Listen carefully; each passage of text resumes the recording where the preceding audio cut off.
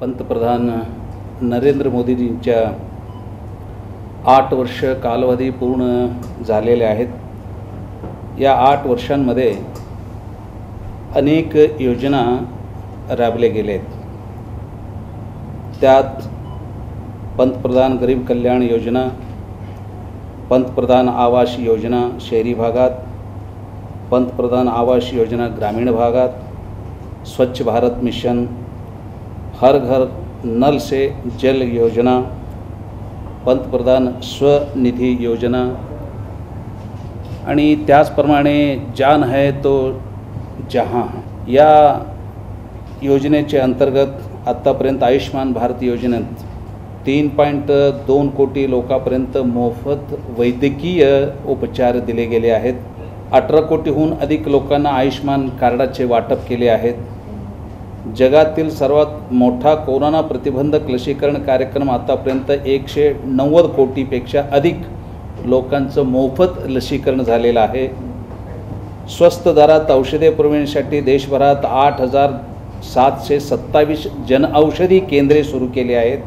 गेल्या आठ वर्षात सुमारे दोनशे नवीन वैद्यकीय महाविद्यालये सुरू आणि प्रत्येक जिल्ह्यात एक नवीन वैद्यकीय विद्यालय सुरू करण्याची मानस.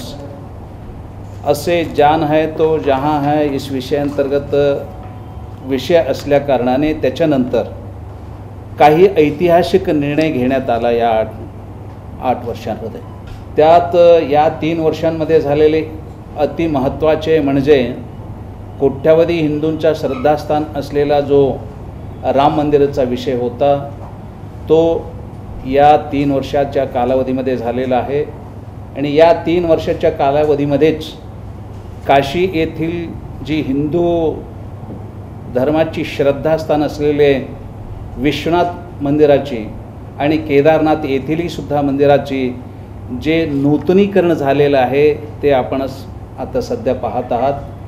पूर्वी काशी येथे जाणाऱ्यांची संख्या दर्शनासाठी जाणाऱ्यांची संख्या जर एखाद्या वेळेला एका दिवसामध्ये लाख संख्या होती तर आता सध्या दहा लाखापर्यंत सध्या तिथे लोक जात आहेत दर्शनासाठी. या अनुषंगाने तिथली सर्वच म्हणजे रिक्षावाला असो सामान्य जे लहान मोठे जे व्यावसायिक असतात त्यांचंही सुद्धा निश्चितच जीवन उंचवलेलं आहे. काश्मीरचा विषय तुम्हाला माहीत आहे तीनशे सत्तर कलमांमध्ये रद्द केलेत. या तीन वर्षाच्या काळावधीमध्येच हा दुरुस्त आला आहे याच्यानंतर सांस्कृतिक वारशाचे जतन करण्यासाठी डॉक्टर बाबासाहेब आंबेडकर यांना अभिवादन करण्यासाठी पंचतीर्थ विकास योजना आता राबविली जात आहे. त्याच्यासोबतच लोहपुरुष सरदार पटेल यांच्या स्मरणात जगातील सर्वाधिक उंचीच्या पुतळ्याची निर्मिती झाली. हे सुद्धा सांस्कृतिक वारसाचं एक जे आहे जतन आहे हे आपल्यासमोर स्पष्टच दिसून येते. भगवान बिरसा मुंडा संग्रहालयाची उभारणी भगवान बिरसा मुंडा यांच्या जन जन्मदिन पंधरा नोव्हेंबर जनजातीय गौरव दिवस म्हणून साजरा करण्यात निर्णय घेतलेला आहे. गुरु गोविंद सिंगचे लहान मुलांचं होतात्म्याच्या कारणाने सव्वीस डिसेंबर हा वीर बाल दिवस म्हणून साजरा करण्यात येणार आहे.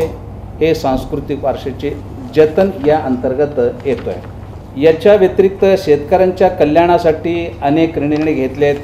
पंतप्रधान किसान सन्मान निधी योजना किसान क्रेडिट योजना पंतप्रधान पीक विमा योजना किमान हमी भाव योजना पिकांच्या हमी भावात उत्पन्न उत्पादन स्वखर्चापेक्षा दीडपटीहून अधिक वाढ तेवीस कोटी मृदा आरोग्य कार्डाचे वाटप हमी भावा भावाने रब्बी आणि खरीप पिकांची विक्रमी खरेदी याच्या व्यतिरिक्त स्त्रियांसाठी स्त्री शक्तीसाठी उज्ज्वला गॅस योजना जनधन योजना स्टँडअप इंडिया योजनेअंतर्गत कर्ज वाटप सैन्य दलात महिलांना बरोबरीचे स्थान पंतप्रधान मुद्रा योजना असे नारी शक्तीचा सन्मान करण्यासाठी सुद्धा काही योजना राबविले गेले आहेत. द्रुत द्रुतगती महामार्गाबद्दल आपण सर्वच जाणून आहात. संपूर्ण देश देशात भारत देशात गडकरी साहेबांच्या या संकल्पनेतून आणि पंतप्रधान नरेंद्र मोदीजींच्या नेतृत्वात सर्वत्र साधारणपणे काश्मीरपासून कन्याकुमारीपर्यंत आणि कलकत्तेपासून कच्छपर्यंत असे अनेक महामार्ग मार्गाचा जाळी आता सध्या होत आहे आणि अजून होणार आहे. संपूर्ण देशभरात राष्ट्रीय महामार्गाचे तसेच द्रुतगती महामार्गाचे जाळे तयार करण्यात येणार आहे. राष्ट्रीय महामार्ग बांधणीचा वेग दोनशे आठ टक्क्यांनी वाढला गेला आहे. दोन हजार तेरा चौदामध्ये दिवसाला पंधरा किलोमीटर रस्ते बांधले जात होते. आता सध्या दिवसाला सत सदोतीस किलोमीटर रस्ते बांधले जात आहेत. दुसरी गोष्ट आपल्या पेपरमध्ये आत्ताच आज पेपरामध्ये मी वाचलो.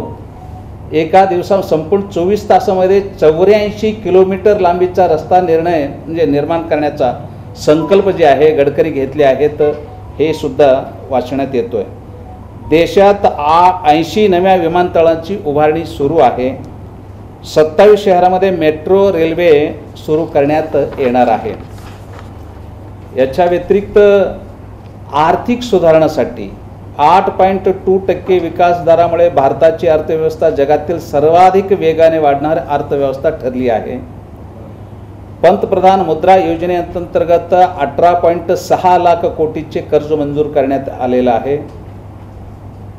चौतीस पॉईंट त्रेचाळीस कोटी लोकांना मुद्रा योजनेची कर्ज मिळणार आहे. जी एस टी अंतर्गत एप्रिल दोन हजार बावीसमध्ये एक पॉईंट स अडुसष्ट लाख कोटी एवढे विक्रमी कर संकलन झालेलं आहे. पाच लाखापर्यंतचे उत्पन्न जे आहे करमुक्त घोषित करण्यात आलेलं आहे.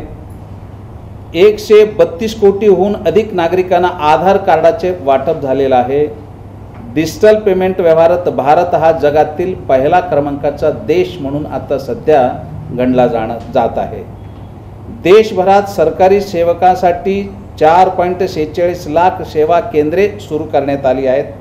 एक पॉईंट सत् पंच्याहत्तर लाख खेड्यांमध्ये ब्रॉड ब्रॉडबँड कनेक्टिव्हिटी आता देण्यात आलेलं आहे. याच्या व्यतिरिक्त ईशान्य भागातील सुद्धा काही विकास कार्य जे आहेत झालेले आहेत. या संबंधित सर्व विषयासाठी आपणास आज जे नरेंद्र मोदींच्या सरकारच्या वतीने आठ वर्षामध्ये केलेले जी उपलब्धी आहे त्या उपलब्धीबद्दल तुम्हाला माहिती देण्यासाठी पत्रकार परिषद घेतली होती.